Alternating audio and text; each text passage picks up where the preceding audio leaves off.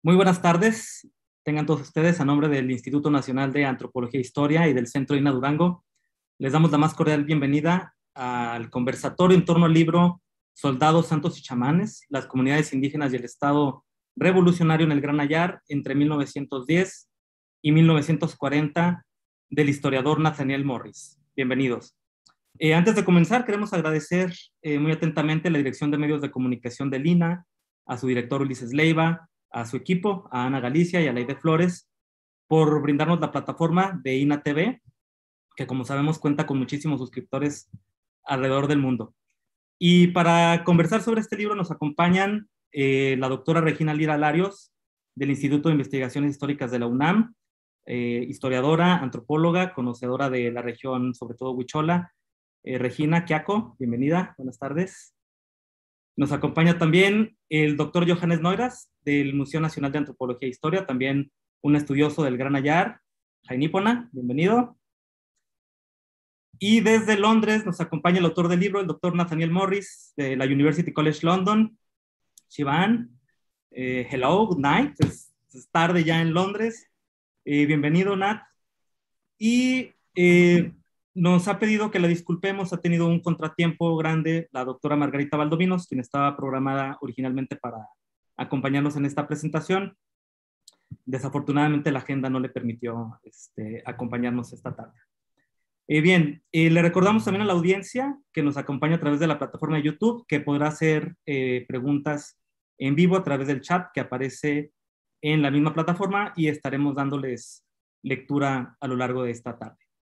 Pues muy bien, eh, antes de comenzar, eh, quisiera comentar a la audiencia que si bien el libro fue publicado en inglés por la Universidad de Arizona, eh, las personas que nos dedicamos a trabajar, sobre todo en esta área del país, consideramos que la, la, aparición de este libro es de gran trascendencia en términos tanto académicos como sociales, por el tema que, que, de él trata, y consideramos que era muy importante hacer, si no una presentación como tal del libro, pues que sí tuviéramos ya un conversatorio temprano acerca del, tema que aquí se, que aquí se comenta.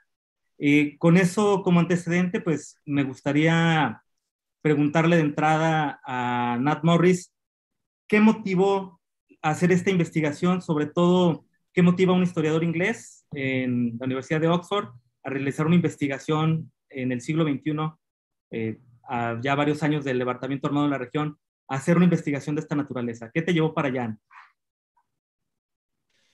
Bueno, buenas tardes. Este, Bye Chevan, Antonio, Chevan Gor, em, a todos. Y pues primero, muchísimas gracias por acompañarnos, todos ustedes, y por recibirme aquí virtualmente.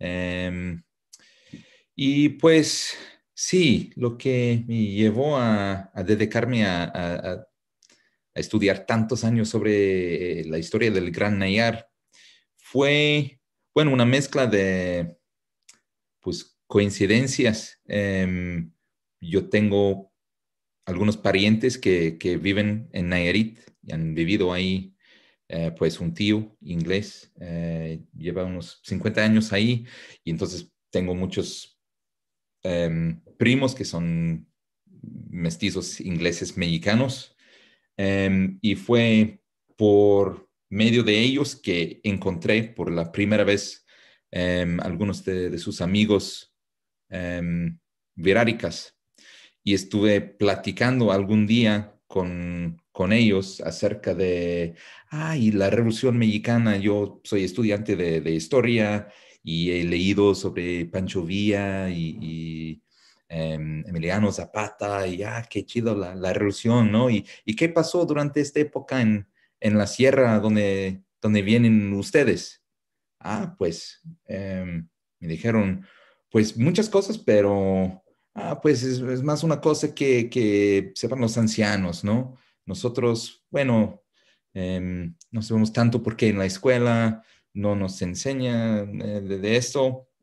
Ah, pues bueno, dije, Em, pues voy a, buscar un libro que explica esta historia para luego saber mejor lo que pasó. Pero pues no, no existía un, libro que tenía como sistematizada la historia de, la revolución en la sierra.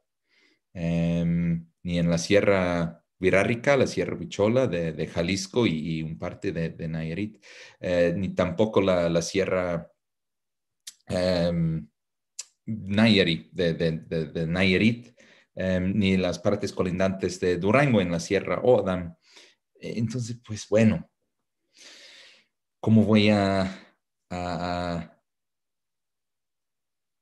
saber más de eso? Entonces, pues fui a la sierra preguntando algunas personas que, mm, con que topé y, me di cuenta muy rápidamente que existía una, como un, conocimiento oral muy fuerte, como una tradición muy, muy vivo de, historias orales eh, entre las personas mayores acerca de la erosión, pero que en, muchas comunidades donde ya la mayoría de, los niños están en la escuela o eh, las personas con, como menos de, 40 años ya están medio escolarizados y, no pasaron tanto tiempo con sus abuelos y, bisabuelos que recordaron muy bien estas historias eh, y, ni había libros de texto ni nada en, en la escuela. Y entonces, pues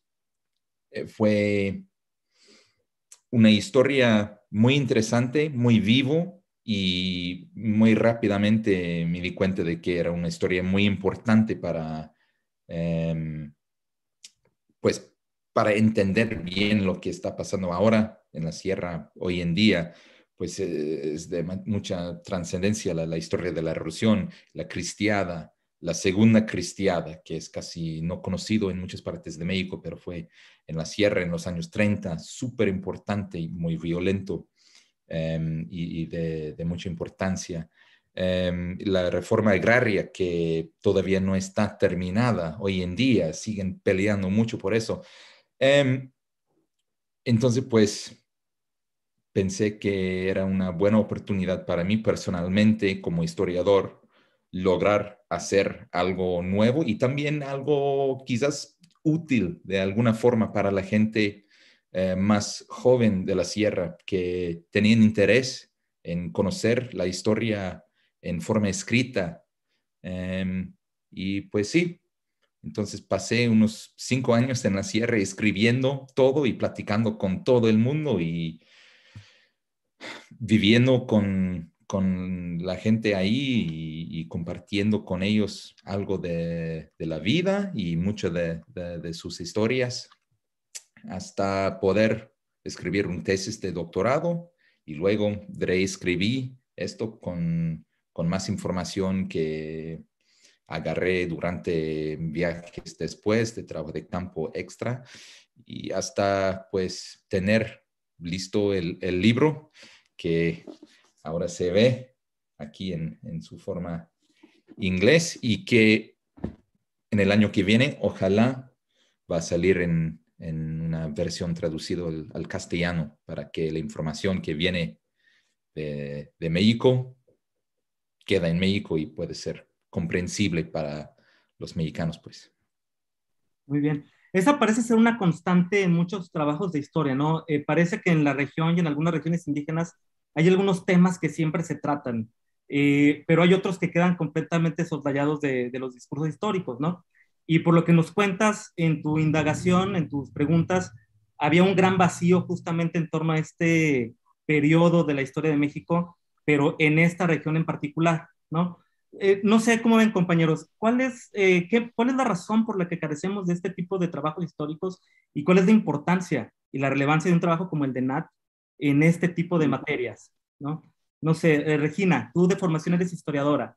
Eh, ¿Qué piensas? Buenas tardes al público, a los colegas. Eh, y bueno, gracias, Toño, por plantearme la pregunta. En efecto, yo también tengo formación de historiadora y también como antropóloga he hecho trabajo de campo. Y sobre todo como historiadora me he encontrado con esta situación que no es exclusiva del occidente de México, pero que es muy marcada, que es que tenemos un problema de escasez de fuentes también. Es decir, que libros como el de Nat nos muestran como las oleadas de violencia a la que fue sujeta toda esta región, De modo que nos imaginamos la cantidad de archivos que no fueron incendiados en todos estos procesos revolucionarios, ¿no? De modo que es muy común, ¿no? Encontrarte con, pues eso, como historias fragmentadas en pedacitos que tienes que ir reconstruyendo, ¿no? Y, y, y, mucha está dispersa de esta documentación, hay parte que está a veces en archivos este, privados, ¿no? Eh, en fin, hay como toda una serie de circunstancias que de por sí nos obligan a los que trabajamos en la región a buscar, ¿no? Y, y ser lo más creativos posibles, y creo que el trabajo de Nat es un perfecto ejemplo de esta creatividad, tanto para abrir nuevos archivos, por ejemplo, el, archivo de la CEP que investiga es de una riqueza tremenda, ¿no? Este, es bastante impresionante lo que, lo que nos cuenta a través de este archivo, historias dolorosas también, este, pero, pero muy, muy ricas ¿no? en, su, en sus descripciones. Y, y, bueno, pues es como una nueva beta que abre el, el, trabajo de Nat eh, y también, pues es una región, el Nayar, que, que, se ha distinguido también como por cierta creatividad metodológica, que no solamente tiene que ver con la escasez de fuentes, sino con ser una región donde hay como registros orales muy tempranos, ¿no? Que nos remontan hasta los tiempos de Lumholtz y de Preuss, ¿no? En 1898 fueron las primeras grabaciones de campo, de modo que de alguna manera, también como circunstancial, el Nayar ha sido un lugar en el que ha habido registro en diversas etapas y bueno, cabe decir que Jean Meyer también abrió parte de esta brecha, ¿no? Con su trabajo de historia oral y sus tres volúmenes de la cristiada que hizo a base de un montón de entrevistas que él también levantó en este tiempo, pero que en efecto dejó esta zona del Nayar pues todavía como con un hueco, ¿no? Que es un vacío y era una deuda pendiente que finalmente pues el libro de Nat cumple, ¿no? Y que ya pues podemos como conocer mejor, pero creo que a diferencia de los trabajos anteriores que se abocaban a una historia oral, Nat va más lejos, ¿no? Es decir, que gracias a su trabajo de campo ¿no? y su conocimiento de todas estas comunidades, yo creo que hay pocas personas que yo conozco que conozcan esos territorios tan bien como Nat. La verdad es impresionante su conocimiento de toda la región, ¿no? que ha caminado y que conoce bien sus paisajes y, creo que esta experiencia en el campo pues, lo vuelve muy sensible a un montón de situaciones y a elucidar esta complejidad de las formas de organización política, de lo que es la ritualidad, lo que es la religiosidad, ¿no?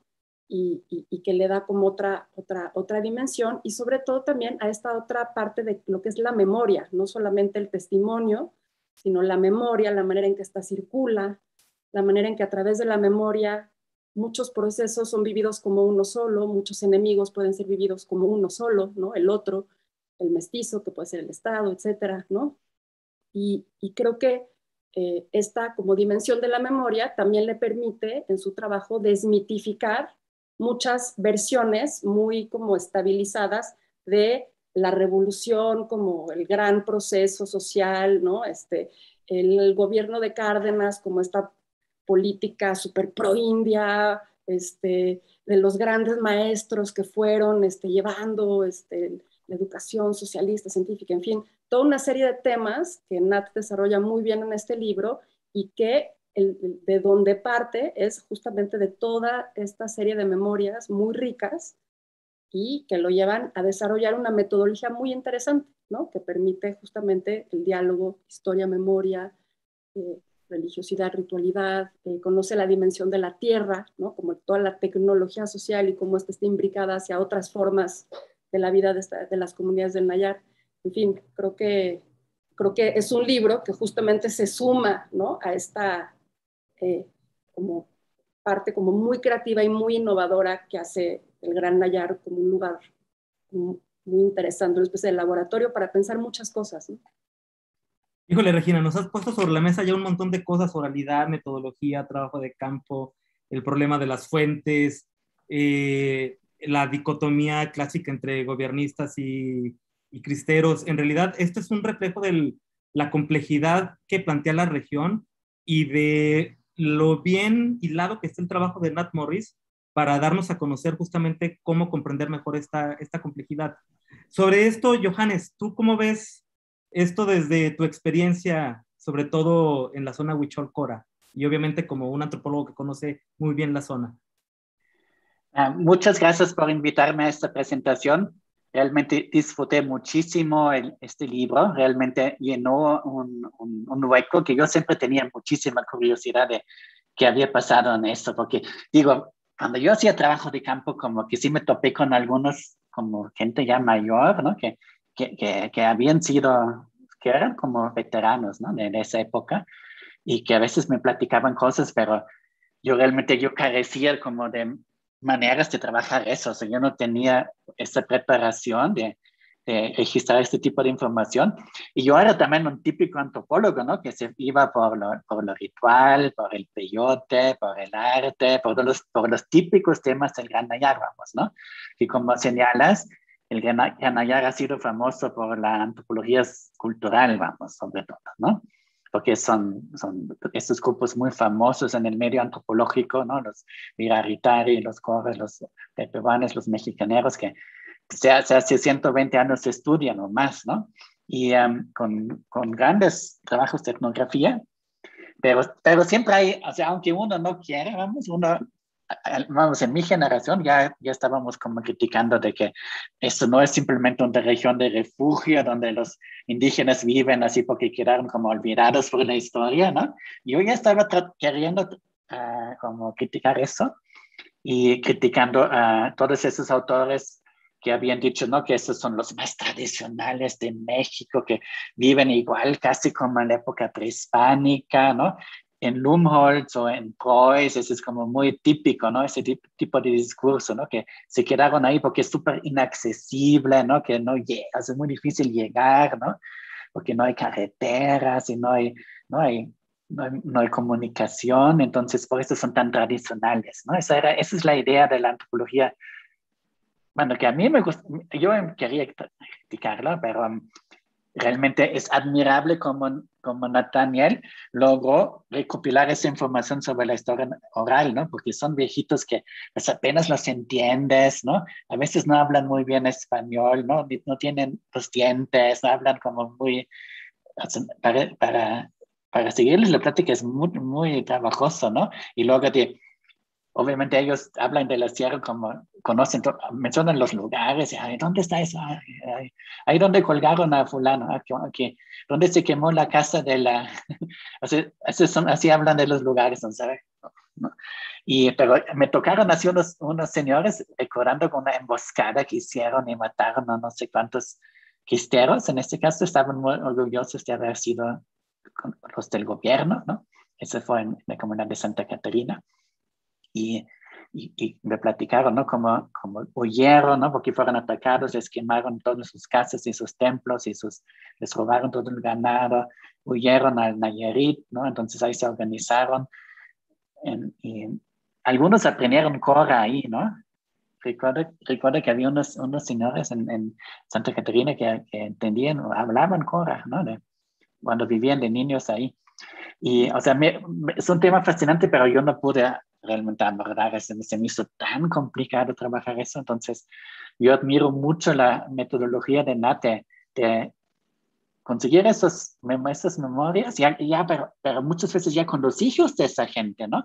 O sea, lo, más admirable aún, porque ya Nat trabajó muchas veces ya con los hijos o los nietos de los que habían sido realmente uh, protagonistas de las, de, de, las peleas, ¿no? de los combates y todo eso. Y, eh, y confundar esto con unos archivos rarísimos que yo no, me imaginaba que si siquiera existían, vamos, ¿no? Que siempre cuando yo quiero ir a un archivo no encuentro nada, ¿no? O sea, yo sí soy como muy antropólogo, entonces admiro mucho también cómo trabajan los historiadores, ¿no? O sea, uh, y sobre todo esa combinación es, eh, es, realmente es un ejemplo para mí, que mucha gente debería trabajar así.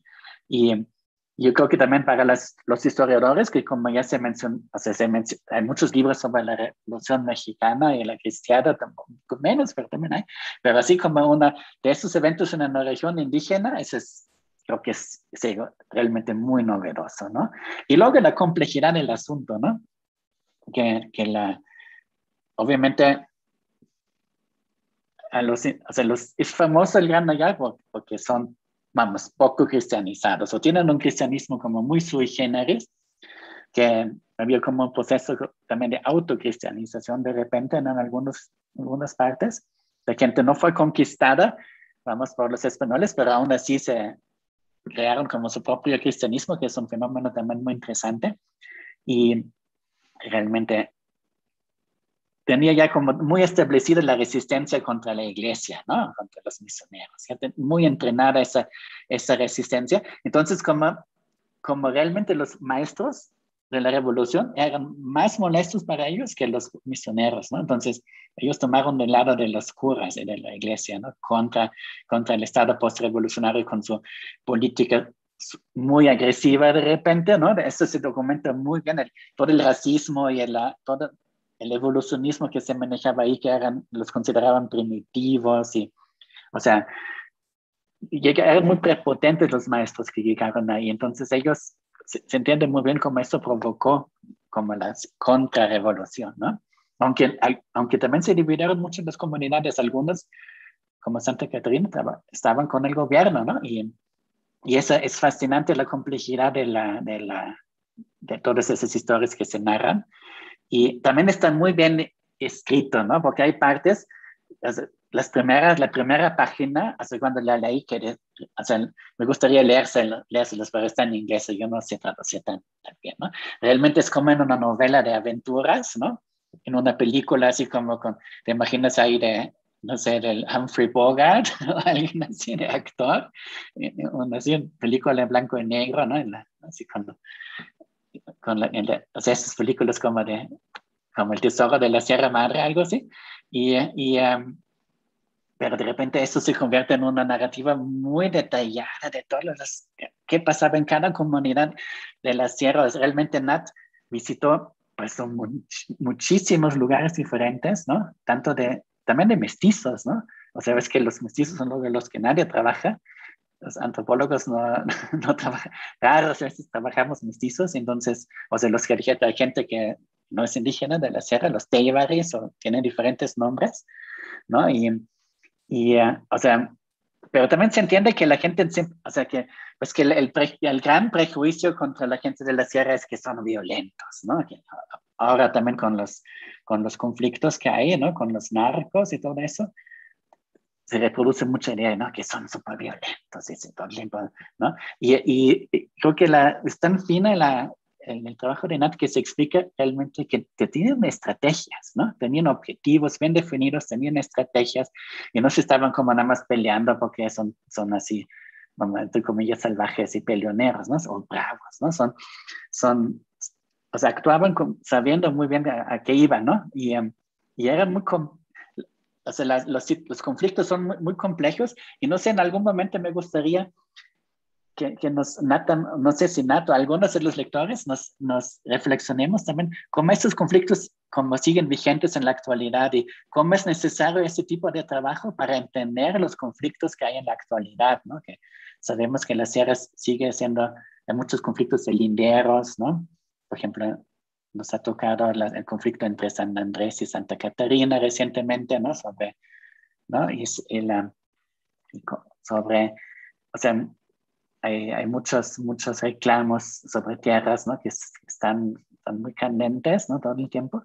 Y um, no sé si, si vas a hacer como un segundo tomo, ¿no? De la, como, lo que la, lo que, cómo sigue eso, ¿no? Porque eso es, eso, ese, eso es, o sea, no son, digo, había una época que fue como más tranquila en la sierra, que por, por eso se hizo mucha antropología durante una época, ¿no? Porque sí se calmaron las cosas, ¿no? En, ya en los 40, 50, ¿no? Apenas. O sea, ya en los 60 vienen los antropólogos, se ven, ¿no? Otra vez. Y, uh, y uh, entonces, bueno, muchas cosas que decir, ¿no? Realmente muchas felicitaciones. Uh, me encantó el libro, ¿no? Y espero que se traduzca pronto y que mucha gente también de la sierra lo pueda leer y, y van a estar sorprendidos realmente todo lo que Nat logró ahí recopilar. Muchas gracias, Johannes. Pues yo me quiero sumar a las felicitaciones y a compartir el gusto que me dio leer este libro. Eh, como dice Johannes, eh, tiene una pluma que te atrapa desde la primera página. Eh, habría que mencionar que esta escena a la que refiere Johannes es la batalla en el Cerro de las Tapas, en el territorio Odam, ¿no? y efectivamente está descrita con una finura que, que te dan ganas de, de continuar leyendo. ¿no? Em, mi, mi, propia reflexión sobre este punto me gustaría traerla sobre el hecho de que en, en Durango y en particularmente sobre esta zona, eh, parece ser que es incluso uno de los lugares sobre los que menos hay todavía escrito. Y tengo la impresión de que, eh, además de algunas eh, cuestiones que aportan Nat en el libro, a nivel local hay que decir que es un tema que todavía levanta muchísima controversia y muchísima confrontación, no solamente al interior de las comunidades, o sea, incluso en la comunidad académica entre los historiadores, eh, normalmente estamos hablando de gente que conocemos o de hijos de gente que conocemos, ¿no? Exgobernadores, exprofesores, eh, los cuales se encuentran hoy en día inmersos también en el medio eh, académico o son, son conocidos de todos nosotros. Entonces, son temas que hasta la fecha confrontan bastante a, nivel local, ¿no? Em, tengo la impresión de que también por eso es que sobre la región Odan, un tema que es recurrente, pues es, es una guerra que ocurrió en el siglo XVII, ¿no? La famosa rebelión de Pegona de 1616, pero más allá no se aborda ningún tema histórico a nivel de detalle, ¿no? Y por otra parte, en la sierra, Em, es algo de lo que se habla bastante, pero que también genera siempre controversia. Pero, por ejemplo, en lugares como Santa María de Ocotán, siempre en las fiestas, sobre todo en las de septiembre, te tocan el corrido de Chon Aguilar, ¿no? Y ahí te platican cómo Chon Aguilar y José Soto se dieron de balazos, justamente en la fiesta del 8 de septiembre que acaba de pasar, ¿no? Y ambos están enterrados en el, en el atrio de la iglesia de Santa María de Ocotán en Júpiter, ¿no? Y bueno, eso nos trae al día de hoy a un conflicto agrario que sigue teniendo vigencia entre Santa María de Ocotán y, y ¿no? Entonces, es de verdad un tema que, como decía Johannes, eh, que ojalá que tocáramos, eh, se traslada hasta el día de hoy y tiene una trascendencia que, que nos alcanza hasta estos días, ¿no? Pero bueno, antes de, de, ir a esta parte, me gustaría preguntarles, y empezaré la ronda otra vez eh, con Nat, ¿cómo se da la participación de los pueblos originarios del Gran Ayar en este conflicto armado. Tengo la impresión de que esa es una cuestión de suma importancia, toda vez que en otros libros de historia siempre se han visto, bueno, no siempre, pero se han visto comúnmente como seres medianamente pasivos o que no tuvieron una participación trascendental en esta guerra, o bien desde una perspectiva muy, muy dualista, ¿no? O eran cristeros o eran progobiernistas. Pero justamente lo que nos muestra el libro de Nat es que hay una complejidad impresionante y que además está atendiendo a intereses eh, muchas veces más locales, ¿no? En términos del de, conflicto armado, ¿no? Este, Nat, eh, me gustaría tu primera participación y después damos la vuelta, si les parece bien, igual con Regina y con Johannes. Bueno, en cuanto a, a, los, conflictos nacionales o, muy regionales y la participación de, bueno, de, los de la sierra en, estos conflictos, pues primero es muy importante hacer hincapié que, de, que no se puede hablar de los Odam o, los Viraritari, pues, o, los Nayerites. Es una cuestión de, comunidades y muchas veces es, más una cuestión de, de fracciones dentro de, las comunidades o, de, asentamientos, anexos, agencias diferentes, distintos dentro de, la misma comunidad. Em, y, pues a veces hay, hay conflictos que va hasta muy atrás, por ejemplo, en, en, el territorio de lo que ahora es Santa María de Ocotán y Zoconostle, pues ahí es un territorio, un territorio muy grande y así hay mucha distancia entre las poblaciones del norte por el lado de Candelaria y los muy del sur de, del Laguna del Burro y los que viven más o menos por la cabecera en medio y, y a veces este la distancia geográfica entre las poblaciones distintas dentro de una misma comunidad. Em, eh, desde, desde este, estas distancias surgen conflictos, em, como entre barrios rivales ¿no? en, las ciudades de hoy en día. Igualmente, em, y, a veces estos conflictos tienen raíces como muy, muy antiguos, pero también en el Gran Nayar muchos conflictos surgieron en la época de la revolución eh, armada, pues en la época de, los conflictos nacionales entre villistas y em, carrancistas y zapatistas y, todo eso. ¿Por qué? Porque em, los villistas del centro y, norte de México, después de su derrota em, a manos de los carrancistas, se refugiaron en, precisamente en la sierra del Nayar, em, donde vivieron como guerrilleros, em, robando ganado y pues abusando bastante de las comunidades ahí. Entonces llegaron los carrancistas persiguiendo sus enemigos villistas y encontraron aliados entre las, pues, las poblaciones indígenas em, y los dotaron de armas a los jóvenes eh, más listos y mm, que tenían como apoyo local.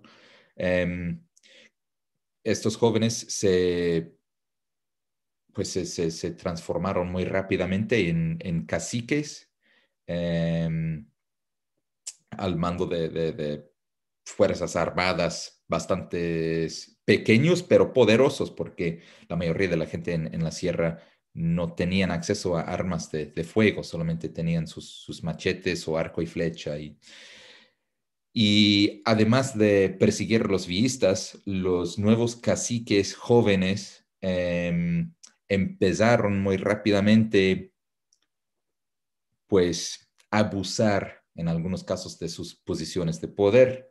Em, y, de estos abusos, pues, surgieron nuevas facciones políticas em, opositores y también muchas veces ancianos, em, miembros de las autoridades tradicionales Em, eh, gente como muy tradicional en su, apego al, a lo que dicen es el, el, costumbre que tenemos que actuar así, las, el sistema político funciona así y estos caciques armados jóvenes no respetan las reglas, pues entonces tenemos que, que pelear en contra de estos abusos y estos jóvenes que, sí, que no respetan. Y entonces dentro de las comunidades surgen estos conflictos entre los, los tradicionalistas y, los como más eh, pro-gobiernistas, caciques. Em, y desde ahí surgen conflictos y luego cuando hay, cuando llegó a, la sierra, por ejemplo, la, guerra de los cristeros al nivel como nacional y bandas de, cristeros y Em, y, fuerzas federales llegaron a, la, sierra para pelear en contra de, en contra de sí. Em, pues algunas facciones dentro de las comunidades indígenas juntaron con alguna banda y, sus enemigos con los enemigos de... Em, y así los conflictos locales juntaron con conflictos nacionales y desde estos conflictos más grandes surgieron nuevos conflictos. Ya en los 30, em, cuando la, segunda cristiada, em, en lo cual algunos exgobiernistas que habían, pues se, habían como desilusionado con la las políticas del gobierno y también perdieron poder em, al nivel muy local, juntaron con los, nuevos rebeldes cristeros en contra de sus eh, ex aliados para, pues otra vez, cuestiones súper, súper locales de, poder. Em, y pues estos procesos se ve por, por toda la sierra, em, pero en cada cada región y hasta cada comunidad.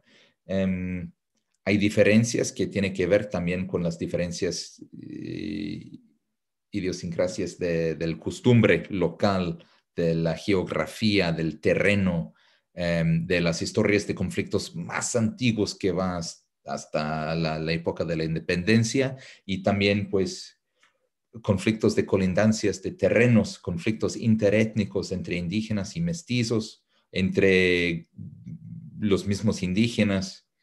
Em, en fin, es bastante complejo, pero sí hay, hay, hay algunas como reglas de, cómo surgen estos conflictos. Em, hay, hay, algunas similaridades, similitudes em, entre las diferencias. Muchas gracias, Nat. Tenemos saludos de Pavel Navarro desde Churubusco, de Mayra Rodríguez desde Nayarit, saludos a ambos. Humberto González desde Toluca y nos saluda la gobernadora de Soconosque, Virginia Flores, a quien mandamos un cariñoso saludo. Eh, aprovecho para decirles que uno de los problemas técnicos que tenemos ahora en estos días es como el que acaba de sufrir la compañera Regina, que se le fue la luz en su casa, entonces está por, por, por volver a conectarse. En cuanto la tengamos de vuelta, obviamente que la incorporamos nuevamente al, al, foro. Eh, sobre toda esta manera como se fue dando el conflicto que nos ha descrito Nat, eh, Johannes mencionaba en su intervención que sin duda esta relación entre las comunidades del Gran Ayar y el Estado y la Iglesia han estado atravesadas por un racismo que se ha notado en todo tipo de políticas y también en la forma como se escribe, se han escrito muchos de los trabajos este, por algunos de los investigadores. No sé, Johannes, si quisieras abundar un poquito sobre el particular, porque me parece que ese es un tema muy trascendente, que además, eh, si uno lee detenidamente el trabajo de Nat, se da uno cuenta que eso es lo que ocurre muchas veces en torno a esta relación, ¿no? Que estamos teniendo entre las poblaciones, bienvenida de nuevo, Regina, entre las poblaciones y agentes como el Estado y como la Iglesia. No sé si puedas elaborar un poco, Johannes. Sí, yo creo que es una lectura muy importante para tanto para gente que de gobierno o también de ONGs o de, antropólogos y cualquier gente que quiera hacer un proyecto con la gente de la sierra, ¿no? Que no repite esos mismos errores, ¿no? Que, la, que realmente, sobre todo, yo creo que se entiende súper bien en el libro que a lo que a las comunidades les interesa realmente es defender su autonomía, ¿no? Esa es, como, esa es una prioridad y lo tienen muy claro entonces sus estrategias siempre van a estar, siempre son para defender esa autonomía. Entonces no se van a, solamente porque alguien viene con un proyecto, bueno, en esa época era la alfabetización, ¿no? Ahora son otros proyectos y otras ideas y otras cosas que se quieren como imponer por buenas voluntad a veces al principio, ¿no? Y luego cuando, cuando la gente se, se empieza a desesperar porque no funcionan los proyectos, repiten esos mismos errores, ¿no? De estos, ¿no? Hablan, empiezan a hablar mal de las comunidades y porque, ¿no? Y porque no hacen caso y porque no hacen lo que se les pide y porque, ¿no? O sea, es algo muy importante, ¿no? De que se, se aprenda realmente a apreciar que, que o sea, el gobierno con una política, sea, si no hubiera tenido esa política tan agresiva, pues, respetado a las comunidades, ¿no? En su bueno, idiosincrasia, con todo lo que, ¿no? lo que realmente los, ellos les importa, se hubieran evitado muchísimos muertos y muchísima violencia, ¿no? Y yo creo que todavía no estamos en una, en un, en una situación, o sea, un poco mejor sí, pero muchísimos de esos problemas se pueden observar cotidianamente en la sierra con otra gente que, que, que por alguna razón están ahí o los han mandado ahí.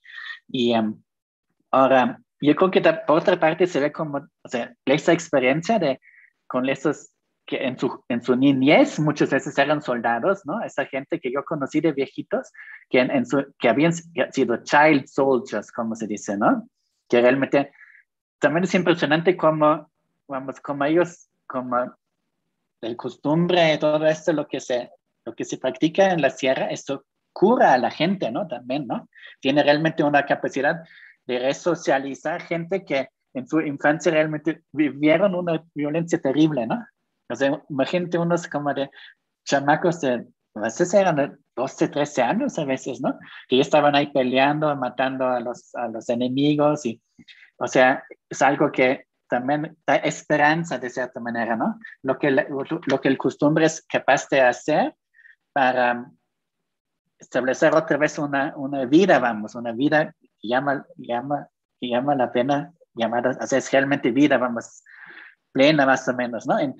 y em, después de todo lo que pasó, ¿no? Entonces es, también es algo, o sea, también ahí creo que se puede, se puede realmente apreciar más ¿no? el valor que tienen esas costumbres, lo que se hace, lo que se llama costumbre, todas esas ceremonias, rituales, sistemas de cargos, la participación de la gente en las asambleas, todo ese complejo que, que si, si nosotros trabajamos ahí en la sierra promoviendo algo, cuando causa una, una política, un programa, tenemos que siempre respetar eso primero y después todo lo demás, ¿no? Ningún informe, ningún plan de trabajo es tan, tan importante para que eso no se tenga que respetar, ¿no? Y creo que tanto el gobierno como otras organizaciones tienen que aprender mucho y les va a servir muchísimo leer justo este libro, ¿no? Excelente. Eh, Regina, estábamos sobre eh, pues la intervención de, de la iglesia, del Estado, sobre esta mirada racista, intervencionista que tuvo estos efectos en, en la sierra, ¿no? Y que se aprecia muy bien a través del libro de Nat. No sé si sobre esto quisieras elaborar un poco, sobre todo a partir de tu experiencia trabajando a niveles grandes con algunas de las comunidades en los algunos de los problemas agrarios recientes. O si quieres damos la vuelta por otra parte.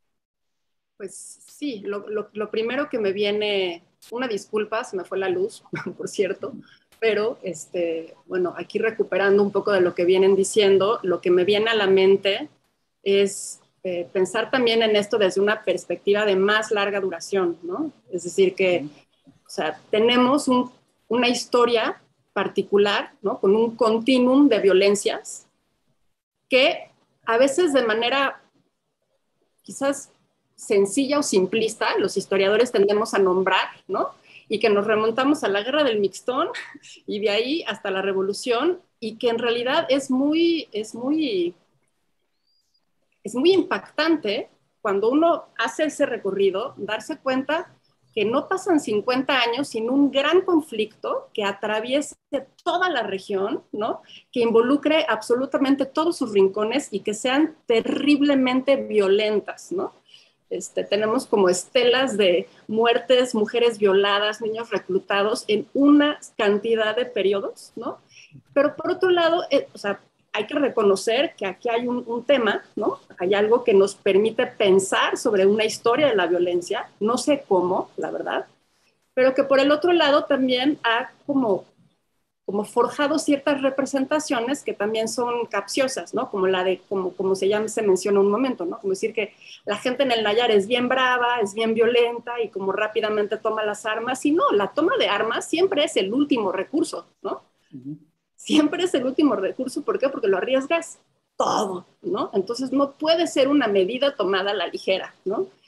Y ya ahí como que empezamos, creo que algo, algo que a mí me gusta mucho en este libro es que siempre adopta una perspectiva regional que te permite hacer constantes comparaciones, pero también te da muchos elementos para empezar a elucidar estrategias políticas que sí son particulares, ¿no? De cada grupo étnico o de cada comunidad, ¿no?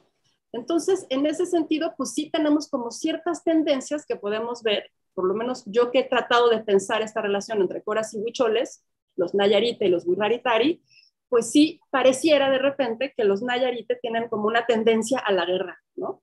Son bien rebeldes y rebeldes y rebeldes y eso pues no nos ha permitido ver todas estas estrategias de negociación y de mediación en la que la resurgencia de liderazgos muy importantes a lo largo de su historia es como un indicador que te permite apreciar estas estrategias políticas, ¿no? Y por el otro lado, del lado de los Wirraritari, también tenemos una tendencia a la negociación, ¿no? Desde muy tempranamente pactaron con el gobierno virreinal, ¿no? Se integraron al gobierno fronterizo, este, participaron como parte de las milicias, eso les permitió tener ciertos territorios. Y tenemos entre los Wirraritari muy tempranamente, y entre los, entre los Nayarita muy tempranamente, algo que se ve muy claro en el libro de Nat, que es esta, esta forma entre los Wiraritari de actuar según las lealtades están fijadas en la comunidad. Cada comunidad tiene sus propias estrategias políticas, ¿no? Los casicazos que se gestan son casicazos locales, ¿no? Es decir, que este presupuesto de la unidad de los huicholes, pues claro que es una falacia y es una construcción, no que no tengan la, no que no de repente puedan aliarse entre todos y actuar de manera conjunta, pero es como hay que invertir un poco la mirada. Y en el caso de los, de los Nayarite, sí tenemos esta como recurrencia en que todos van juntos, o sea, sí tienen una capacidad de actuar en colectivo muy sorprendente. Y en el momento en el que Nats nos, nos, narra, esa capacidad de actuar en conjunto se rompió. Hay, hay algo pasó. Ya no es esta como conjunción, esta cosa que se articula en torno a la mesa del Nayarit, ¿no? Y que ten, el Nayarit deja, la mesa del Nayarit deja de ser como el aglutinante, ¿no? De todos los grupos coras, sino que tenemos esta decisión entre casi cascos regionales que le llamas, ¿no? La cora alta y la cora baja. Entonces, bueno, tenemos ahí como toda una serie de estrategias complejas, ¿no? Mecanismos recurrentes, unos que se, que se unen, otros que se atomizan, y siempre como parte de estos procesos de negociación política, ¿no? De mediación, de buscar alianzas, que las alianzas a veces son cambiantes, parecen contradictorias, ¿no? Pero que sin embargo siempre hay una interlocución, una disposición a negociar con los gobiernos en turno, en turno, con los poderes estatales, ¿no? Pero cuando este Estado responde de manera impositiva, racista, ¿no? Sin preguntar, ahí es donde empiezan los problemas. Entonces, claro, ahí se toman las armas, pero como un último recurso siempre, ¿no? Sí, de hecho, me gustaría retomar algo de lo que acaba de decir Regina en términos de esta gran estela de violencia y cómo, dice Regina, no pasan 50 años sin que haya una, un, verdadero conflicto. Hoy en día, pues sabemos bien que las comunidades están asoladas por la ola del crimen organizado y, y la confrontación contra el Estado, que muchas veces tampoco sabemos realmente de qué lado está, cuál es el crimen y cuál es el Estado, ¿no? O sea, tenemos un, un conflicto bien serio ahí en el que las propias poblaciones de la región del Gran Ayar están inmersas y en todo el país, ¿no? Pero mm, me interesa mucho traer este punto porque yo creo que si algo puede, se puede aprender desde las primeras páginas del libro de Nat, como bien decía Regina, y que tiene una implicación hasta el momento, es cómo estas poblaciones adoptan la violencia como último recurso. Es decir, estamos eh, al inicio de la Revolución Mexicana y llega un momento donde la violencia alcanza, alcanza las poblaciones y lo primero que se busca es eh, mantenerse a salvo y es la razón por la que muchas de estas poblaciones pues se arman o se empiezan a defender, ¿cierto? Y quitarnos esta idea maniquea en donde eh, es que eran o eran gobiernistas o eran cristeros. Y luego si eran cristeros es porque estaban muy apegados a la Iglesia Católica, ¿no?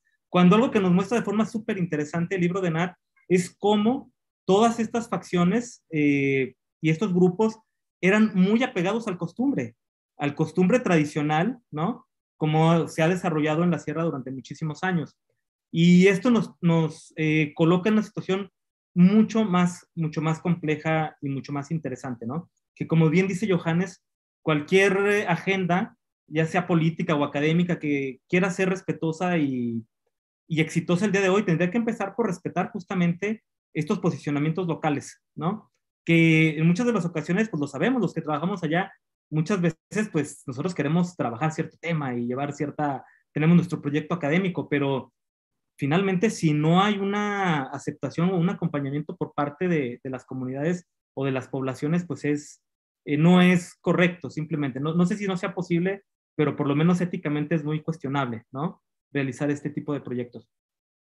Tenemos, eh, en el chat tenemos dos preguntas, tenemos tres de hecho. María Teresa Fernández Aceves pregunta, Dice, para ir más allá de la frase de comunidades indígenas, me gustaría saber cuál fue la participación de mujeres y hombres en la Revolución Mexicana, la Guerra Cristera y el proceso revolucionario. Eh, Nicolás Tesla nos, dice, nos pregunta, ¿cuáles son las fuentes consultadas?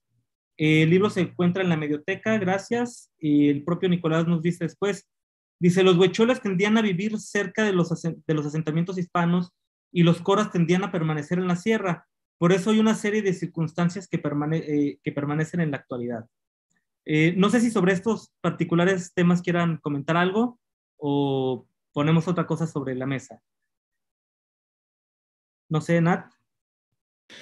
Em, pues contestando primero a María Teresa, em, eh, acerca de, bueno, es, muy claro que como en, todo, eh, entonces, y, hasta hoy igual, pues este, el, género y, el concepto de, hombre y mujer y las divisiones de, trabajo y todo eso, pues tiene un, efecto muy importante sobre la, participación de, hombres y mujeres eh, indígenas de la sierra en, estos conflictos. Em, es cierto que, pues, la mayoría de los armados en estos conflictos eran, eran hombres indígenas, em, pero como bien dices, Toño, em,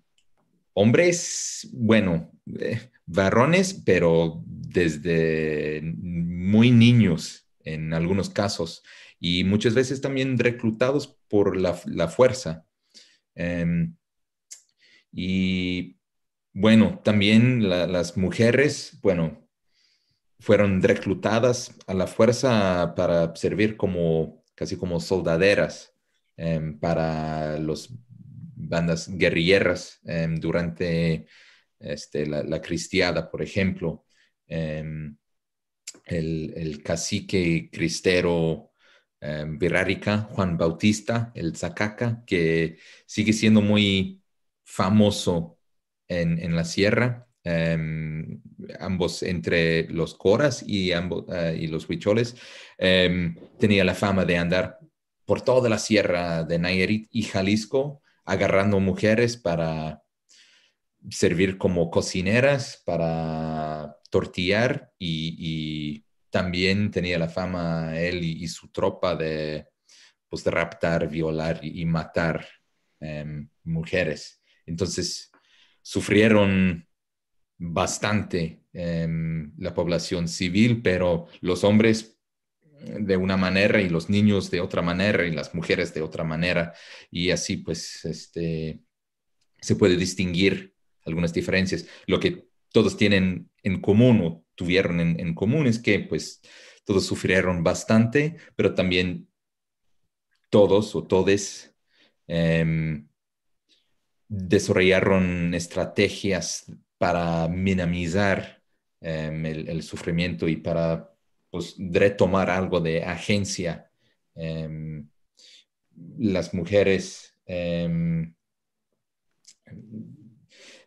usaron su, calidad de ser mujer para, a veces, para proteger em, los este, santitos em, y hasta los títulos de, tierra. Em, en Santa Catarina hay, la, leyenda de que una, mujer anciana escondió el título virreinal de todo el territorio em, dentro de sus faldas y por ser anciana, los cristeros huicholes de Juan Bautista lo dejó viva y este, por eso ahora tiene la comunidad sus tierras por, por esta mujer, em, por pensar bien en, cómo actuar.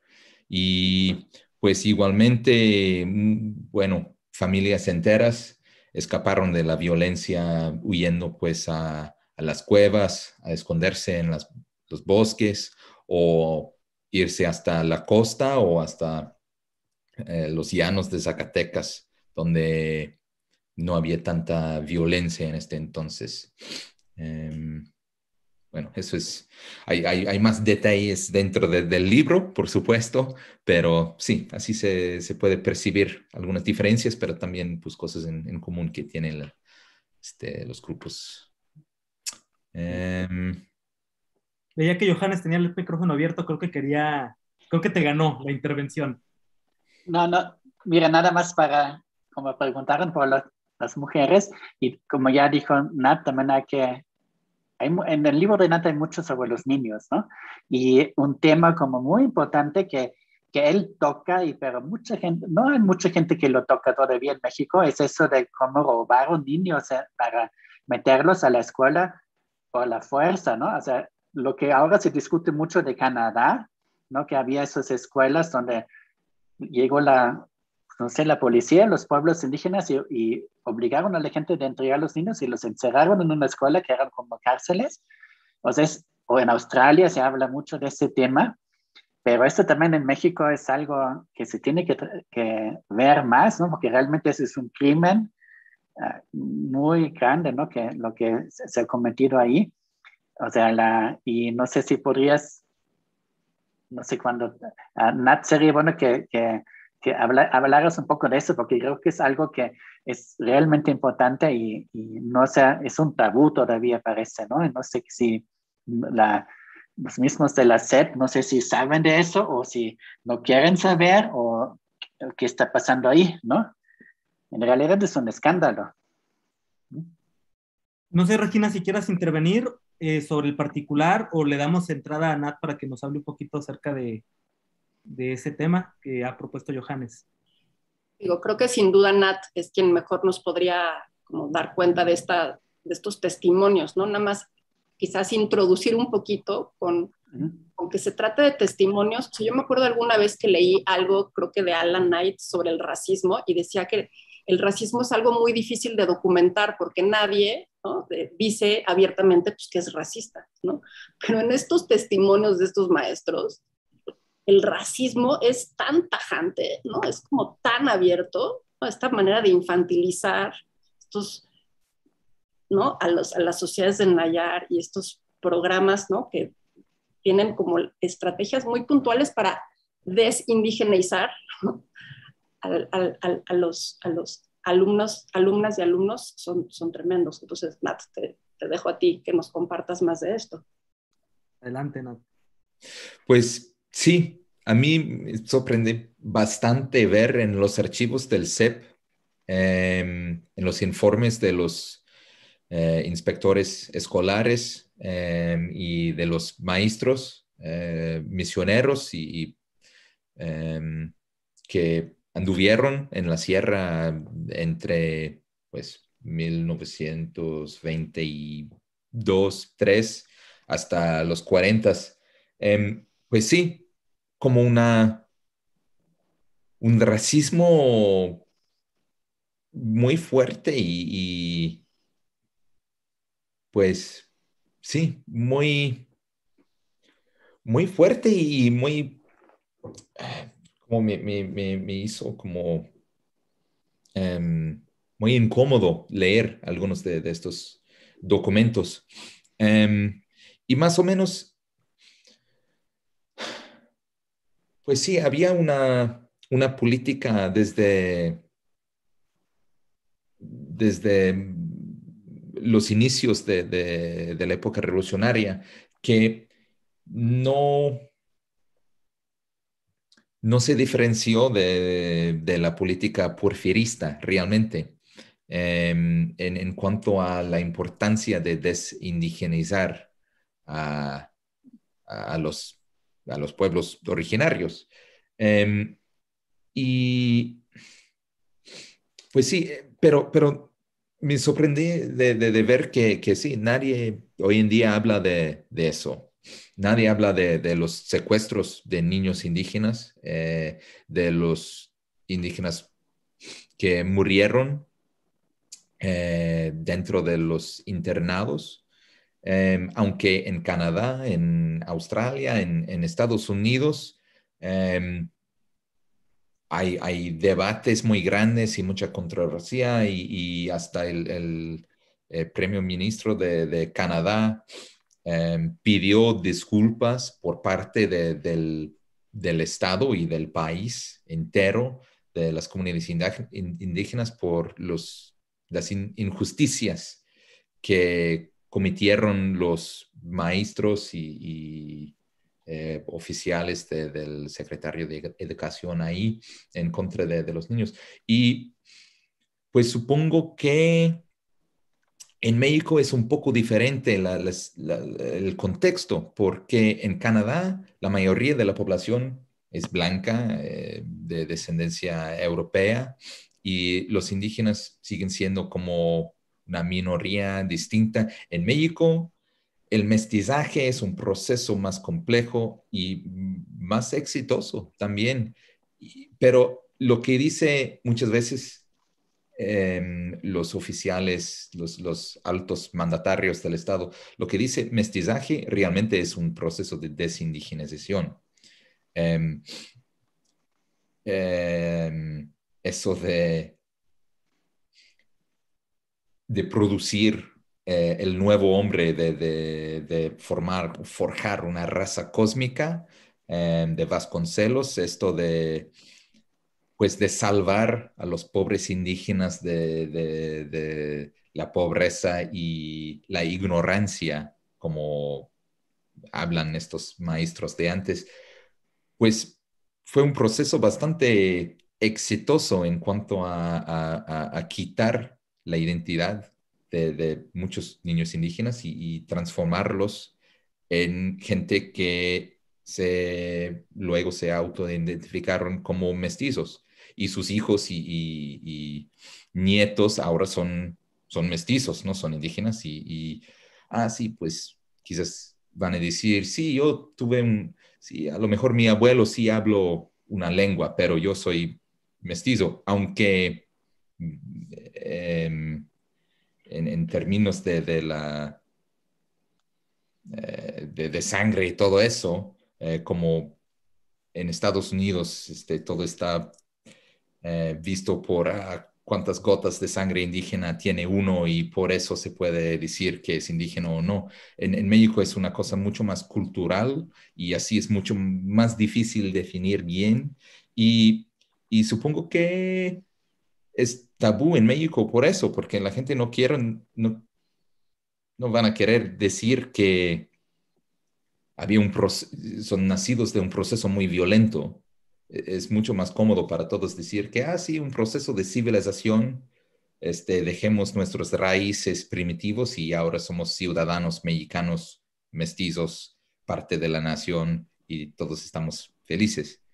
Em, pero creo que, bueno, lo que muestra mi libro y eh, es un proceso muy violento que se llevó a cabo en, en, el Gran Nayar y pues de, lo poco que vi en, los archivos del CEP acerca de otras regiones, lo mismo pasó en, muchas regiones. Habían muchos secuestros de, niños y niñas indígenas, los llevaron a, fuera de sus hogares, em, hasta los cazaron em, en la sierra, soldados con armas agarrándolos y y pues sí, llevándolos muy lejos y, eso es un trauma. Em, y también por eso no se habla tanto en, en, la sierra tampoco de, eso, porque es, es, algo muy traumático y, los ancianos que sufrieron estas cosas no realmente quieren hablar mucho de, de estos años horribles para ellos. Em, pero ojalá que los testimonios que, tengo en, mi libro pueden dar un empuje a, que la, gente conversen un poco más y, enfrenten un poco más esta historia. Em, porque, pues sí, fue de, mucha trascendencia entonces y hasta muchos conflictos, muchas, casi hasta rebeliones eh, de comunidades en contra de las fuerzas estatales durante la cristiada, em, pues estas rebeliones se, provocaron a los maestros eh, con sus tratos eh, de los niños em, locales. Entonces, pues sí, explica mucho de, lo que pasó entonces, esta violencia estatal en contra de, de los niños. Regina, ¿quieres abonar algo sobre el particular? Bueno, eh, dado, que se ha estado mencionando también esta relación indígena-mestizo, que también es Eh, creo que, creo que en, el, en, el, en, este libro y en este periodo a veces resulta muy difícil, ¿no? Definir. Y justamente esta como fluidez de la identidad es algo que, por un lado, e, el Nayar es una, es una región que ha sido muy atendida por los antropólogos, ¿no? Y que ha sido muy olvidada por los historiadores, por lo menos en los últimos 20 años. Entonces creo que esta perspectiva histórica como que le reimprime, ¿no? Como mucha vitalidad para entender esta forma muy dinámica de las identidades, ¿no? Culturales y políticas, puesto que los antropólogos tendemos o corremos más el riesgo a esencializar, ¿no? Y a enfatizar lo diferente y así, ¿no? Entonces creo que esto es algo como muy, eh, eh, muy, muy, muy importante y sano, ¿no? Para los estudios sobre, sobre el Nayar, porque en efecto eh, integra justamente al análisis no solamente los Wirraritari, Nayarite, Odam, y a los mestizos en efecto tendemos como a dejarlos un poquito de lado porque no danzan el mitote, ¿no? Porque no sé qué, porque no entran dentro de este como especie de núcleo duro, ¿no?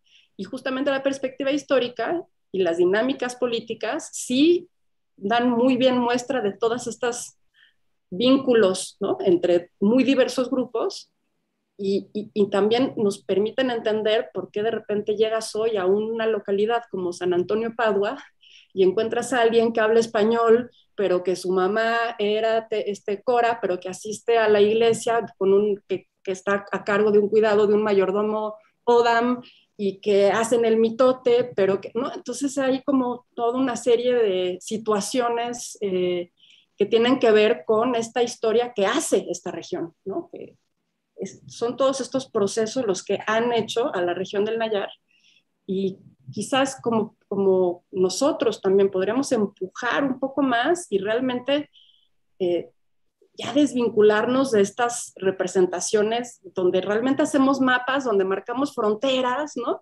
Y no damos cuenta de territorios discontinuos, ¿no? Eh, que, que, hace que de repente aquí tienes una localidad Nayari, aquí una Wirrárica, aquí una no sé qué, aquí una... Y, y eso es el Nayar. Y que todos estos movimientos migratorios que son muy claros en el periodo de la revolución, pues han sido procesos que se dan en múltiples etapas. Entonces hay mucho movimiento en esta zona y de alguna manera nos, nos cuesta trabajo todavía como pensar así, ¿no? Este, y eso, seguimos como reproduciendo, hasta aquí es esto, hasta aquí es esto, quizás porque hoy en día las fronteras sí aparentan ser más rígidas, pero tampoco lo son, ¿no?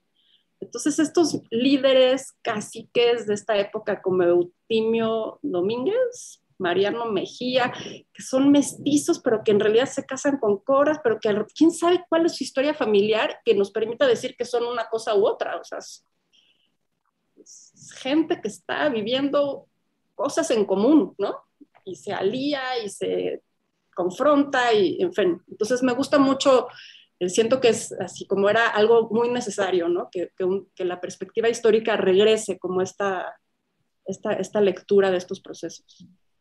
Sí, Johannes. Gracias. Ah, mira, Regina está como muy modesta en esta plática porque ella está haciendo un trabajo también muy importante de historia del Nayar, pero sobre una época anterior, ¿no? De la época del Manuel Osada, ¿no? De, desde el siglo XIX.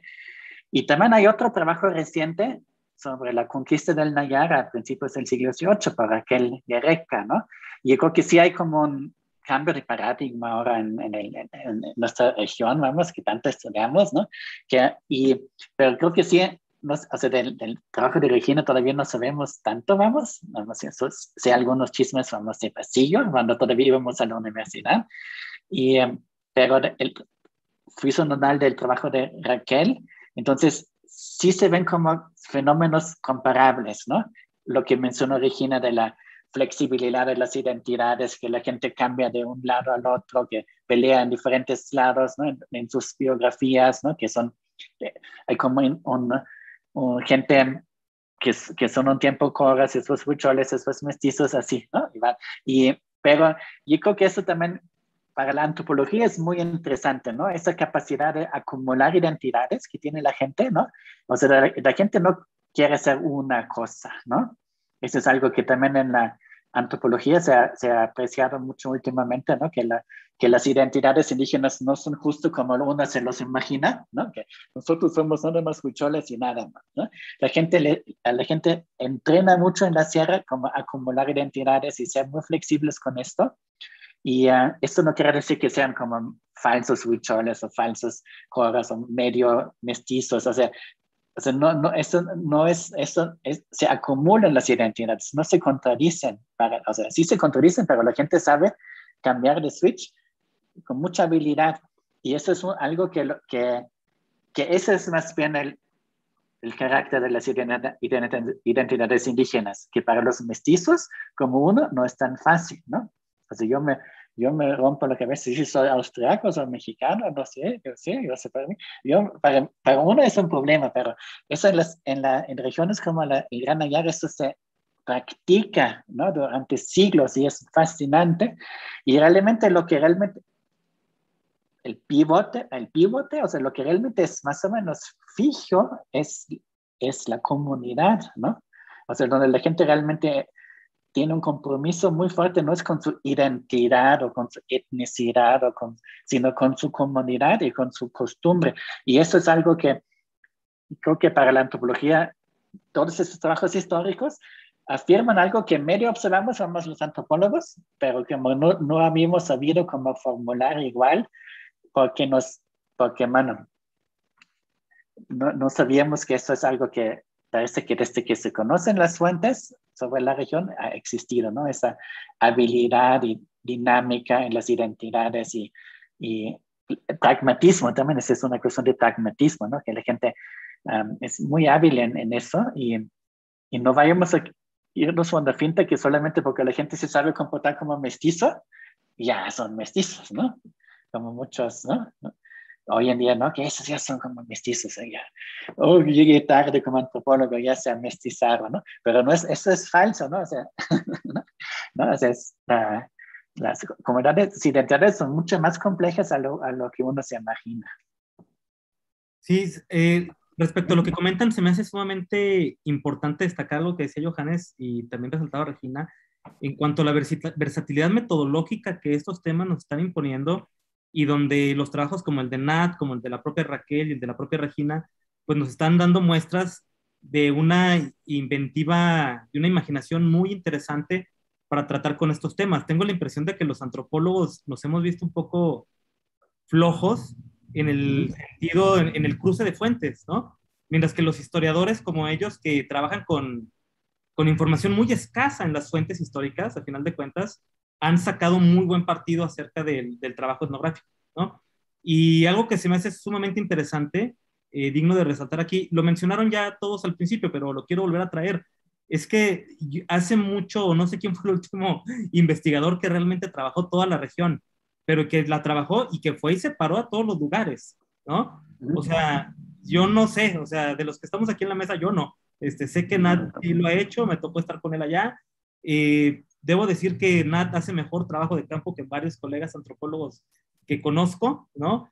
Eh, en, un, en un español serrano nayarita que es plenamente efectivo, porque me he topado con varios colegas citadinos de la capital que luego llegan y preguntan cosas que no son operativas en la, que no son operativas en la sierra. Y eso es algo que de una forma muy, eh, pues no es tan palpable, pero queda plasmada justamente en los resultados, en los resultados del libro, ¿no? Esa versatilidad metodológica y esa fascinación y esa facilidad por el trabajo de campo y de estar en todos estos lugares, ¿no? Eh, hablando de lo de las escuelas, y digo, no voy a decir algo más interesante de lo que ya, de lo que ya se dijo, pero hay, hay algunos detalles que siempre nos encontramos en campo que a veces soslayamos, ¿no? Por ejemplo, yo me acuerdo perfectamente en lugares como en Santiago Teneraca, donde realmente la carretera se metió en los años 80 y donde todavía se, se hizo un ceremonial muy fuerte buscando evitar la carretera, y donde la gente sí decía, o sea, es que las escuelas atentan contra el costumbre. Y a final de cuentas, eh, los profesores o muchos mestizos decimos, no, mire que vienen a enseñar a leer. Y, y, pues también vienen a eso, pero efectivamente, si algo les mostró la experiencia, es que sí los ha alejado del costumbre. De alguna manera, no es que estemos en contra de la educación escolar, pero de facto, ¿no? En principio sí ha habido un gran efecto en contra, en contra del, del costumbre, ¿no? Este, tenemos un comentario de Jaque Mate al Rey, que dice, este libro da continuidad al movimiento insurgente zapatista, que hoy por hoy es el movimiento más importante y estructurado del día de hoy. ¿Podrían compartirnos, eh, eh, podrían compartir algo los expositores? Eh, creo que es básicamente el comentario que, que, se me está escapando. Antes de pasar a esto, y cómo nos damos de tiempo, ah, pues tenemos una plática muy rica, son seis y cuarto, todavía podemos seguir platicando un buen rato, y si alguien nos quiere seguir haciendo preguntas, este, bienvenidas. Me gustaría poner sobre la mesa algo interesante. Decía Johannes en su primera intervención cómo los antropólogos nos hemos enfocado más en ciertos temas, ¿no? Y hemos dejado eh, que si el ritual y que si el peyote y que cómo se han conformado las, las comunidades, mientras que los historiadores han atendido a otra diversidad de temas, los cuales Nat pues junta aquí en el libro. Y no quiero pasar por alto que si bien el subtítulo es las comunidades indígenas y el Estado revolucionario, el título es Soldados, Santos y Chamanes, ¿no? Y me parece que este es un ingrediente, y además está con letras grandotas, más que las otras del Estado revolucionario, ¿no? Entonces, eh, lo quiero traer a colación porque cuando hablamos de la guerra, de la Revolución Mexicana, eh, honestamente, de una forma historiográfica muy tradicional, creo que pensamos poco en estos aspectos de los santos y los chamanes, ¿no? Y esto se junta, además, con algo de la gran versatilidad metodológica que tiene que ver justamente con el valor que le podemos dar hoy en día a la historia oral, pero a la historia oral como se cuenta en la sierra, porque de repente vamos como historiadores a querer cotejar lo que nos dicen en la sierra y no checa con las fuentes, ¿no? Es decir, en la, en la sierra del Nayar, del Gran Nayar, la historia oral se genera y se produce bajo una cierta perspectiva, digámoslo así, ¿no? Y que me parece que lo conecta muy bien con este asunto de los santos y los chamanes, ¿no? Entonces, este, Nat, ¿por qué escogiste este título? ¿Cuál es la relevancia en este punto? Pues, precisamente como dije, este, como dijiste, no se puede entender bien la historia del Granayar sin hablar de, de santos y chamanes y soldados y santos que se transforman en soldados y chamanes que son santos. Y pues eh, una manera muy particular de ver el mundo en, términos de, símbolos de religiosos y dar importancia a, la geografía como algo sagrado, de ver los lugares como lugares como físicas, pero también que, tienen sentidos em, culturales, religiosos. El, Gran Nayar, toda la, sierra del sur de Durango, del norte de Nayarit y Jalisco es un lugar lleno de significaciones em, religiosas, espirituales, y la gente que viven en este, en este terreno viven dentro de, una red increíble de, sentidos y símbolos y, em, sí, de sentimientos.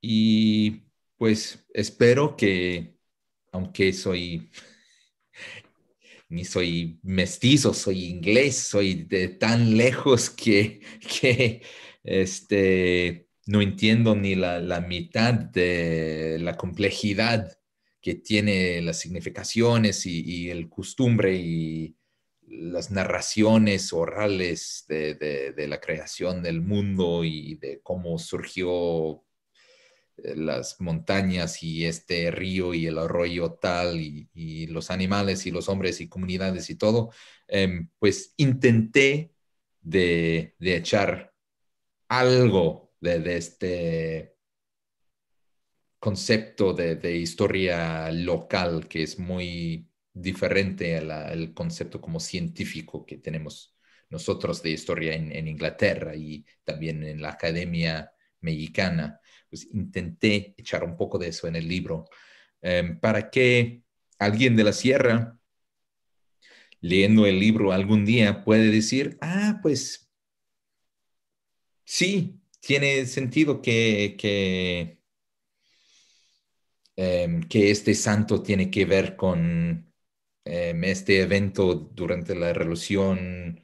Em, el santo Santiago de Teneraca se transformó en, otro santo que, ah, pues sí, yo, yo entiendo cómo este dread de significaciones sagrados entre Mesa del Nayar y Santa Catarina tiene que ver con la manera en formar alianzas entre la gente de las dos comunidades, que no tiene mucho que ver con la política del Estado de revolucionario, pero tiene mucho que ver con la historia de sacrificios y intercambios rituales entre poblaciones distintas de, dos lados opuestos de, las montañas. Em, porque sí, eh, la, historia del Gran Nayar va mucho más allá que una historia de, personas, también es una historia de no humanos, de, fuerzas sobrenaturales y de, em, de cosas que, que, no entendemos muy bien nosotros que no somos de la sierra, pero que para la gente de la sierra son sus, sus parientes, ¿no? Johannes, adelante. Ah, te falta presumir como una cosa muy interesante que, por lo menos para los antropólogos, es muy importante, ¿no? De la construcción de la historia, ¿no? Que practica la gente, ¿no? Que de repente como lo que para nosotros son diferentes épocas, o inclusive el mito y la historia, ¿no? Esas cosas se, se condensan, ¿no? Entonces aparecen figuras de diferentes épocas en una misma, en un cuento, ¿no? Una narrativa, aparecen dioses como de los orígenes del mundo y gente del siglo XIX y gente del siglo XX y como que se, eso es algo fascinante, cómo se construye la, historia en, en, el contexto del costumbre, ¿no? Y tienes, tienes, muy buenos ejemplos. Esto es algo que también se ha trabajado en otras regiones de México, ¿no? Por ejemplo, en Chiapas, ¿no? De, con, Nancy Ferris y, no, no, no, no, Nancy, no, ¿cómo se llama? El, el Cristo indígena rey nativo. Um, esa autora famosa, ¿no? Victoria Sí, Victoria Pricker, exacto. Sí, entonces es, es, algo muy importante, ¿no? Porque también la historia no, es lo que llamamos ahora cosmohistoria, ¿no? Eso no es, no, no como, como, vamos, como no indígenas y no podemos simplemente decir que nuestra historia es la verdadera y la de ustedes es la, oh, ese es un mito, ¿no? Así como, eso es falsa, mitológica. Es, es, muy interesante la diferencia de cómo se construye la historia en un lugar y cómo en el otro, ¿no? Creo que no podemos simplemente siempre decir que la, nuestra historia, así con mayúscula, ¿no? Esa es la única correcta, ¿no? Y tomar en serio esas concepciones indígenas de la historia es algo muy interesante y además ayuda para entender cómo funciona el mismo costumbre. Y yo creo que se, notó, se nota en el libro perfectamente que si no hubieras estado ahí participando en la Semana Santa, en no sé cuántas fiestas, nunca hubieras tenido también ese entendimiento de la importancia de la autonomía y del costumbre, ¿no? Porque eso, eso sí, por eso sí para mí Nazi es realmente en pleno, no, obviamente hizo mucho trabajo de campo y estuvo ahí, todo, pero realmente el, carácter antropológico de, este trabajo y a veces tal vez no lo podrías hasta que insistir más, bueno, en otro libro, ¿no? En otro artículo, ¿no? Que, eso es una, eso te permitió entender muchas cosas, ¿no? Que, que simplemente, que no ver sentido simplemente uh, las fuentes y las tradiciones orales y tratando de como de armar ahí el rompecabezas, ¿no? Ese, es, ese ingrediente de realmente de convivir con la gente y participar en la costumbre es la clave para todo ese trabajo, ¿no? Entonces la antropología también es muy importante para entender la historia, ¿no? No, no solamente al revés, ¿no? Regina, me gustaría tu, reflexión sobre este particular. ¿Cuál, ¿Cuál es el papel que deben de tener estas historias locales en la construcción de estas historias académicas? Y lo pregunto muy especialmente pensando en algunos colegas historiadores que provienen de las comunidades y que muchas veces son orillados a desdeñar este tipo de narrativas en pos de una historia cientificista, racionalista, ¿no? Eh, ¿Cómo ves tú el, el punto? Bueno, pues ya han dicho cosas muy valiosas los colegas. Este, y bueno, creo que la pregunta es cómo, cómo poder también escribir una historia significativa, ¿no? Una historia que, que te evoque cosas, que te remite emociones, experiencias, ¿no? Que es pues un, un género que no se necesita explicar en muchos otros contextos, ¿no? O sea, recuerdo, por ejemplo, el libro bellísimo de Keith Basso, ¿no? De, ¿cómo? Speaking, speaking with names, ¿no? Cómo nombrar un topónimo tiene esta capacidad de evocar, incluso de, de poder recuperar hasta ángulos desde donde se vivieron las cosas y de conectarte con toda tu historia y tus antepasados. Entonces, pues sí, o sea, la historia que escribimos los académicos muy convencionales, que, no, no, sé si yo entro dentro de esa categoría, pero las historias muy convencionales, pues, este, pues, pues sí, sí pueden ser muy aburridas, ¿no? Esta cosa cronológica, acumulativa, buscar la coherencia, es tan artificial, ¿no? Es como tan, es, eso, es una construcción muy artificial y entonces, pues, esta, esta historia que, pues eso, que se apega más a la experiencia, a la experiencia social, pues pues es lo que a uno le gustaría también poder, poder, este, poder formular y, y, bueno, en ese sentido, quizás no soy yo tampoco muy convencional, puesto que la historia, es decir, yo estudié historia y después fui a la antropología y luego regresé a la historia y las preguntas que le hago al pasado son preguntas que surgen de mi experiencia en el campo, ¿no? Entonces me tomo ese tipo de libertades como para repensar las estrategias políticas desde lo que yo aprendí gracias a mi etnografía del ritual y mi análisis en el ritual, ¿no? Y, y, y, entonces pensar estas relaciones con el Estado, pues claro, yo recuerdo, ¿no? Cuando fue el problema de la, de la carretera, ¿no? Que estaban construyendo y que iba a partir a Santa Catarina en dos, yo me acuerdo platicar con varios amigos, me dice, es que nadie nos preguntó, o sea, a lo mejor y sí queríamos una carretera, pero nadie nos preguntó, ¿no? Entonces, claro, ese tipo de situaciones, pues claro, hace que tú repienses un montón de otras situaciones y, no es anacrónico, ¿no? Para mí no lo es, no lo creo que sea. Y también la posibilidad de construir una historia que sí dé cuenta de estos anacronismos. La historia no es lo mismo para todos y puede no coincidir un montón de cosas. Y eso es como algo muy bonito que hace el, el trabajo de Nat, que realmente pues, logra eh, crea una como muy buena simetría entre el dato histórico, entre el recuerdo, la memoria, el, la memoria quizás que quién sabe si es verdad o no es verdad, pero que está circulando y realmente a partir de ahí, y esa, esta es la historia que nos ofrece en este libro, ¿no? que no hace distinciones, ya va por encima de todo eso, ya, pues ya quedó atrás. y eso es, eso es este, muy, muy agradable y hace que en efecto sea muy disfrutable la lectura, ¿no? Este, Bien. Pues ya no tenemos más preguntas en el chat, por lo menos no, no, no nos están llegando nuevas preguntas. Eh, si les parece bien, vamos a una ronda final, a no ser que quieran traer algún otro tema que, que les parezca súper importante que no quieren dejar pasar, eh, o lo dejamos en esta serie final de, de comentarios eh, y nos podemos, ir, nos podemos contestar mutuamente, ¿no? No pasa nada, tenemos cierta flexibilidad en el, en el, en el horario. Entonces, yo no sé, Nat, para cerrar esta, ir cerrando esta presentación, eh, ¿con qué te gustaría cerrar? ¿Con qué te gustaría terminar? Eh, pues bueno, em, pues vale la pena decir que sí tengo ganas algún día de, escribir un, volumen 2 de más soldados y más santos em, y más chamanes todavía. Em, pero que, pues supongo que esta historia es tan grande porque es más reciente, entonces hay más recuerdos, más memorias em, corrientes y más em, confluencia y todo, que pues, sería un, un mega proyecto en que quizás todos nosotros tenemos que participar juntando, por ejemplo, em, todos los conocimientos del trabajo de campo que ustedes han hecho durante los últimos 20 años o más. Em, pero ¿qué más acerca de, del, del, mero libro ese que, que tengo enfrente de mí? pues creo que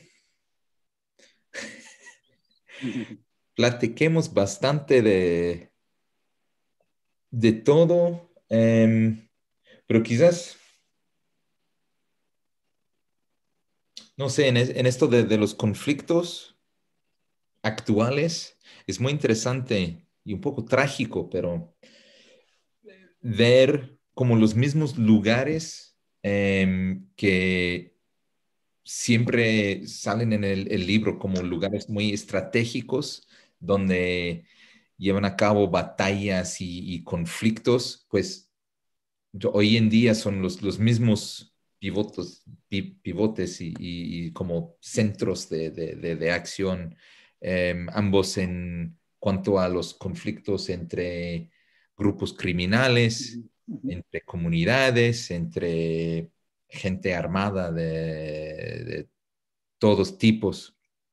Em, por ejemplo, hay, varias batallas em, durante la revolución y luego em, la, primera cristiada y la segunda cristiada que siempre se llevan a cabo batallas en, en, el Hawái y en San Juan Capistrano, donde hace unos meses también había una batalla entre grupos criminales y no sé qué, pero con un saldo de muertos eh, increíble, de, unos 18 personas, dice em,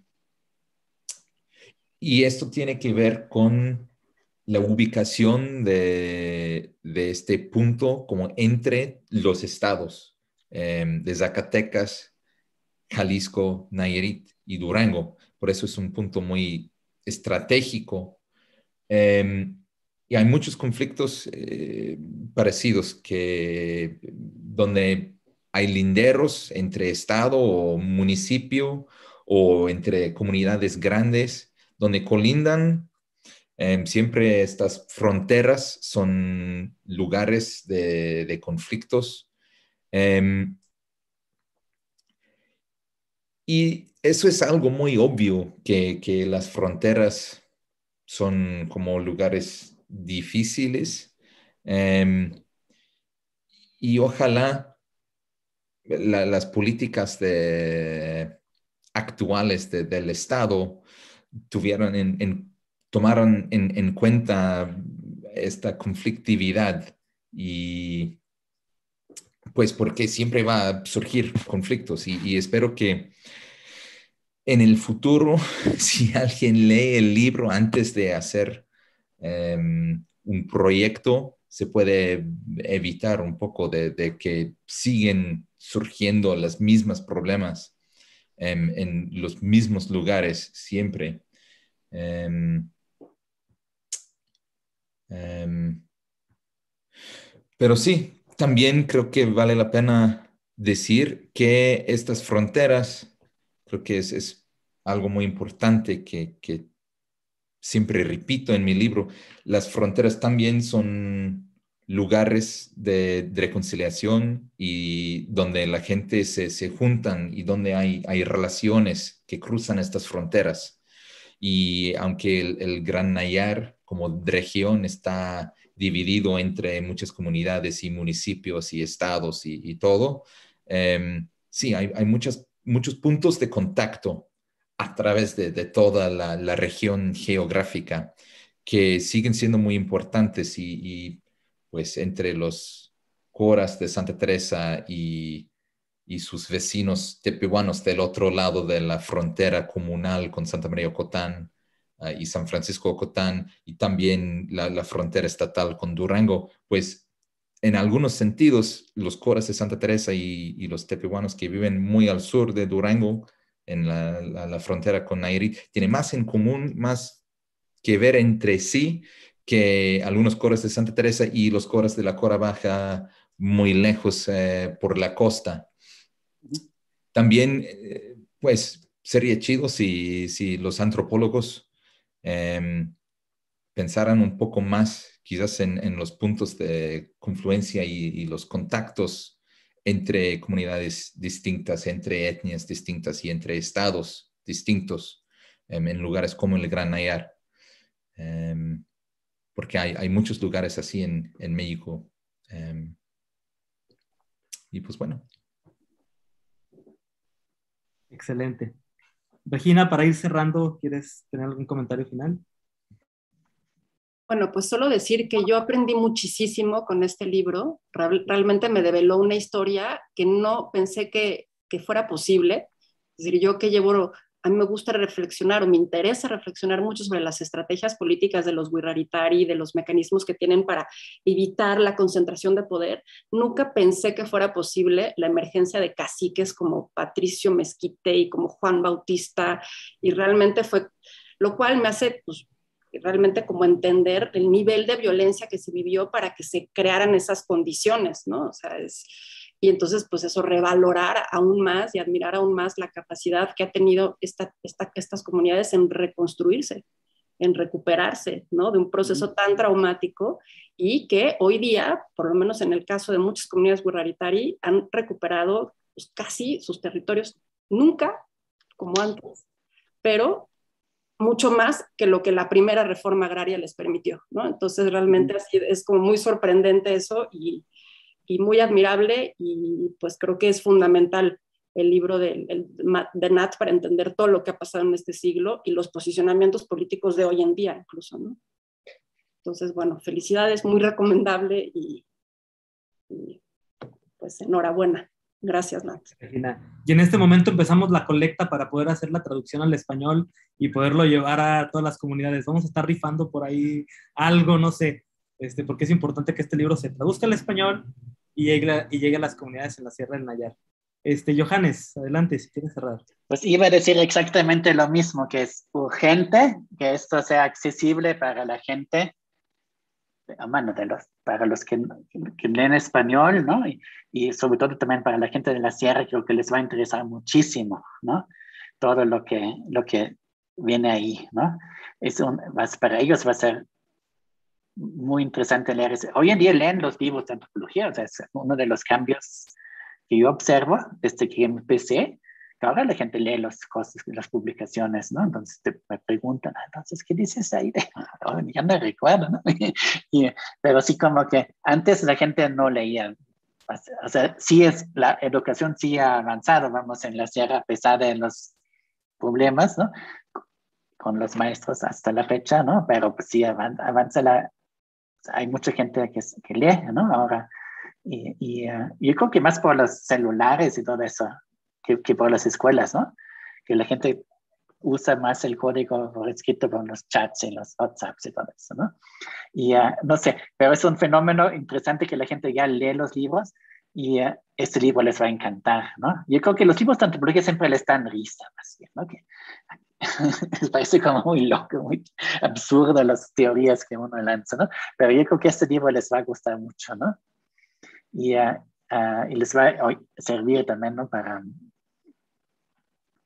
¿no? Para, para sus problemas actuales, ¿no? Y entonces, creo que ya hay un proyecto de publicación por ahí y ojalá que se, se realice y, y vamos a hacer otra presentación cuando salga en español, ¿no? Excelente, Johannes, muchas gracias. Eh, comenta Virginia Flores, por último, dice que espera que pronto el libro esté en español, que con lo que ha comentado, lo que hemos comentado hoy, de verdad espera leerlo, espera leerlo muy pronto. Eh, pues antes de terminar, de, de, verdad que yo, al igual que los compañeros, debo decir que aprendí muchísimo en este libro, porque de verdad que toca temas que podemos apreciar el día de hoy. O sea, los efectos que ha tenido en la educación, el, los efectos que ha tenido en los asuntos de los términos de linderos, en las conformaciones de algunas de las, ¿cómo podríamos decir?, de los grupos políticos, porque también los partidos políticos empezaron a jugar un papel muy importante en épocas no recientes. Eh, podemos ver mucho su gestación en este, en este libro. Digo, la historia que nos cuenta Nata aquí sobre el periodo revolucionario es en sí misma muy importante, pero visto desde el presente, a mí me vincula directamente con estos temas de los que siempre me he preguntado cómo se han conformado. Y a mí, que de verdad, una de las cosas que más me sorprendieron fue el jugo que pudo sacar Nat de los archivos de la SEP. Nunca me imaginé yo que en la SEP estuviera toda esta información tan, tan rica, ¿no? Entonces, eh, de verdad que para mí la trascendencia es, es primordial y quizá en algún momento eh, sería muy interesante también discutir, eh, más allá del libro, eh, lo que han hecho las poblaciones del Gran Ayar con estas instituciones. Porque, por ejemplo, tengo la impresión de que si bien el proyecto educativo se llevó de cierta manera y tuvo un impacto primario en, un momento, por lo menos desde el punto de vista ODAM, puedo decir que hoy en día las propias poblaciones ODAM tomaron de alguna manera ese proyecto y le han dado su propio sentido de tal forma que los departamentos de educación indígena están principalmente eh, eh, administrados por personas de la sierra. Y entonces sería bien interesante ver cómo le dieron la vuelta a la tuerca también a estos proyectos del Estado, del Estado mexicano. El asunto de los linderos sigue siendo hasta hoy un problema fundamental y que ha vuelto a nacer con el programa de Sembrando Vida. Este, yo me lo he topado mucho por allá, es un problema que está latente en la actualidad, eh, a partir de que ahora estamos sembrando muchos arbolitos. ¿no? Entonces, este, pues es un libro actual que nos habla de un, de un proceso histórico que tiene efectos que se dejan sentir hasta el día de hoy. Sin más, eh, salvo que los compañeros quieran comentar alguna otra cosa. Este... Hay voluntarios para traducir tu libro, Nat. En el... ¿Hay voluntarios? Hay, ya hay voluntarios. Excelente. Eh, que nos dejen los datos, por favor. que nos dejen los datos. Es, ¿Algún otro comentario, compañeros? Bueno, si no hay más comentarios, eh, nos despedimos de esta transmisión. Agradecemos a todos los participantes, eh, al propio Nat que se está desvelando en Londres, creo que es como la una o las dos de la mañana por allá. Este, Regina y Johannes que nos acompañan desde la Ciudad de México. Al equipo de la Dirección de Medios de Comunicación de Lina les damos, les agradecemos mucho por el espacio y a todos los espectadores. Y recuerden que esta transmisión se queda grabada en el canal de YouTube y la podrán seguir eh, o la podrán volver a ver cuantas veces gusten y quieran verlas y nos quieran volver a ver. Agradecemos mucho su atención. Enhorabuena y despedimos la transmisión. Hasta luego. Muchas gracias. Hasta luego. Gracias. Hasta luego. Hasta luego.